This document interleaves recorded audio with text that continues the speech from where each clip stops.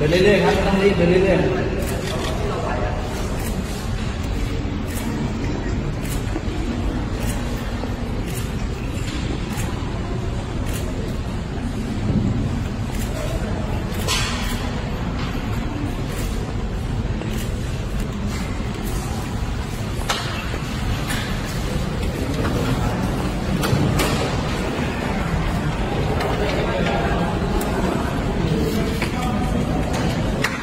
เข้าไปทำไมนะ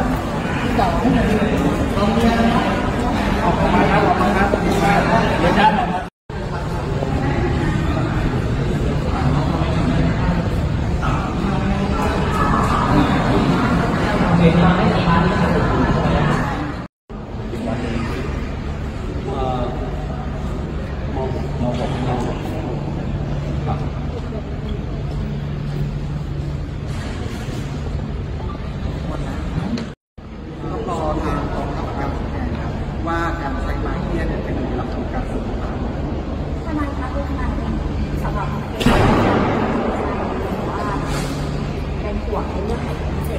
คือความปลอดภัยหลังจากนี้นะครับ เพราะว่าน้องก็เป็นทหาร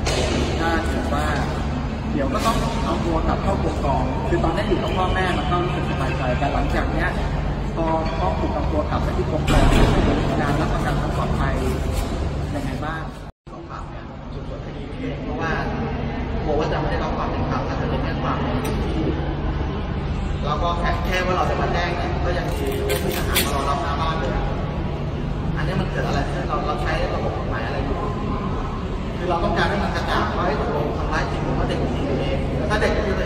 ว่า